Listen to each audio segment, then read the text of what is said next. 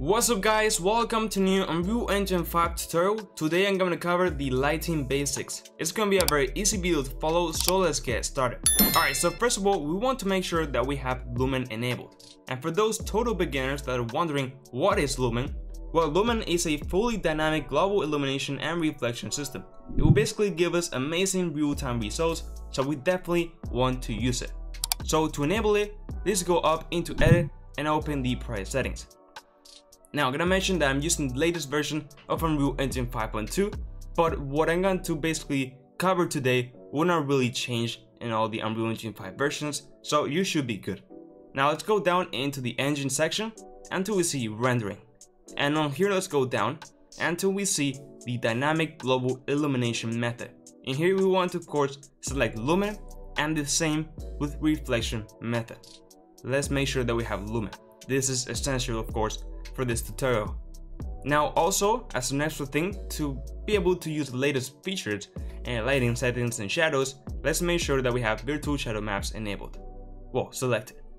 With that said, we can now go ahead and start covering the lighting actors. So for that, let me just go up here into file and create a new level to showcase everything. I'm gonna create a new basic level, so as I will have a floor, and let's hit create. On here, what we're going to do is basically get rid of all the lighting as I will not need it. I will only need the floor to showcase this. So let's begin by the first lighting actor. In this case, let's go into quickly add to the project. And we can go into light. And here we will see the directional light. Let's drag it here. This will be the most common light source that you will probably play with, especially as a beginner. It will basically just act as a sun, and it is essential to light outdoors, right? Like open wells. In this case, let me just drag a character here so I can preview this a bit better. So I'm going to meshes and just get, for example, Manny Simple and just drag it into the scene.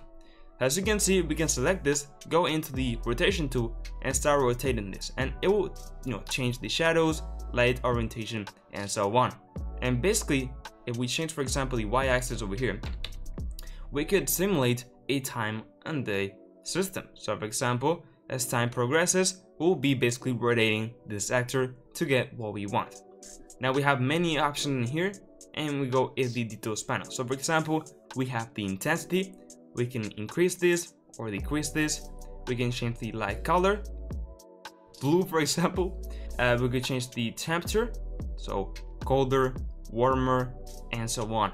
So you can really play a lot with those settings. Now the rest of them, I'm not gonna be covering them in this video as I'm just covering the extreme basics of everything, okay? So I'm gonna actually touch on a thing which is the mobility. So we have three states on here, especially for lighting. Really lighting will go into two stages, but in this case we have three options. So the first one will be static. Basically, this is for fully baked lighting, and this will be the fastest rendering. Now the thing is that the lighting will not move, not even shadows, okay? So basically, this is to uh, capture the lighting how it is, save it as data, and it will not move, interact with the world, or whatsoever. It will just stay like that. Now then we will have stationary, which is something in between. As you can see, it is basically a partially baked lighting. Again, it will not be able to move or adapt to any other things except for shadows that will basically adapt to mobile objects, okay? And then we'll go into the last, which is mobile. And this is basically total dynamic. So it will interact with both.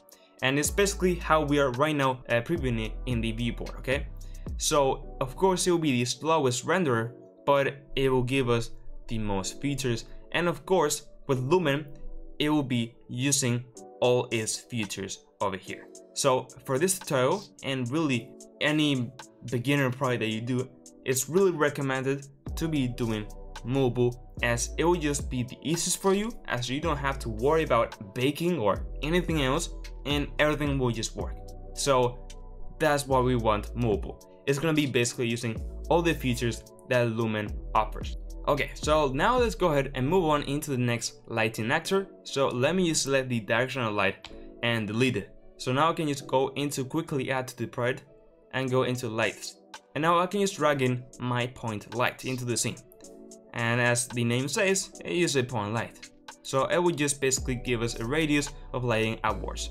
So we can change things as the intensity, the light color, the attenuation radius, which is how far it will go, the source radius, it's basically like the source size itself. And as you can see, as we increase this, the shadows will get smoother or sharper. So this is a very good thing to watch out. We also have more things, but I'm not gonna be touching them. The main features, uh, or well, parameters, uh, are those that you're basically gonna be using. And again, mobile guys, we need to be using mobile, very important. Um, of course, not, not very important, you don't have to use mobile. It's just gonna be way easier for you as a total beginner to begin lighting your scene, as you don't have to worry about other stuff, and it will be totally dynamic. Alright, so let's move on into the next lighting actor. So let's delete our uh, point light. Let's go back into the light section over here and let's put a spotlight. And as the name says, it is a spotlight. So for example, if you're, I don't know, lighting a theater theater level, this will come in very handy and it will just be like a, uh, yeah, like a spotlight basically. So we can change the light intensity as you can see, the attenuation radius, so how far it will go, the uh, inner cone angle. So we have two sections over here. We have the first uh, inner part, which will basically have a, a more intense lighting, and then the outer, which is gonna have a less intense uh, lighting. So as you can see, if not, we'll have a very sharp an edge, but now we have a smoother edge at the borders. So you can really play with that. Let's go into the next uh, lighting actors. So we're going to go up here, go into lights and open up our rect light. And this is very similar to what we see in basically um, you know studio lights when you're gonna do photography and so on. Those that are mounted on tripods on like square. This is basically that lighting, okay? So for example, these are very handy for interiors and so on. Uh, for example, gonna do a, a a lighting that is not like a lamp uh, in terms of it's not like a bulb this will come in very handy too so again you can change the lighting and so on but this one has an extra parameter which is the source width and source height so you can change you know the scale and so on as you need it and again you can change other stuff as the light color attenuation radius and so on so with that, we pretty much have covered them. We just have uh, one left, which is the skylight. Now the thing is that the skylight will not work as its own, as you can see. It will depend on other lighting too. It's basically like an extra thing I see almost. So we can just go and add a directional light. Now you will see that right now in our environment, the skylight will not do anything. And is that it will, to in order to function, it will depend on other components too especially when I go here and select mobile and now take real-time capture. As you can see, it will basically give us a warning that we will need a sky atmosphere, volumetric cloud, and so on. Because otherwise, it will be black. So this is more like an add-on. So I will cover it a bit later on, okay? But first of all, I want to uh, cover another last thing pretty much of lighting. So let's quickly just go here and, and put this mobile back again and I'm gonna be touching the emissive materials. So let's go into content, into a content browser, just right click and create a new material. So let's name this something as M emissive and this doesn't really matter you see an example. And in this material, as you can see, we have an emissive color output. So if I were now to hold the uh, key 3 and then left click we have this node where we can just double click to open it and basically change the light color.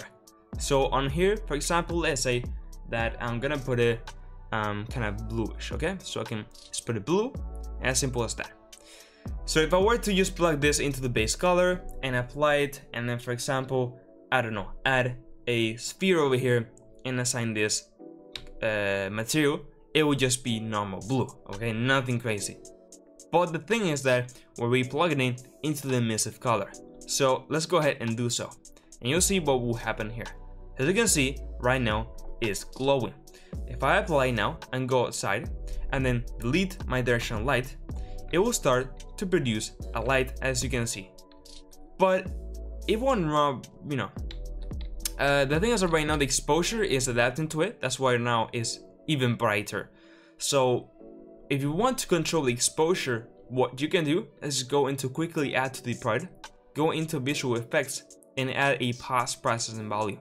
Now this is very big, so I will not be covering you know the post processing volume in this tutorial, but I'm gonna just quickly go into Affinity and it's enable this, so it will cover the whole level.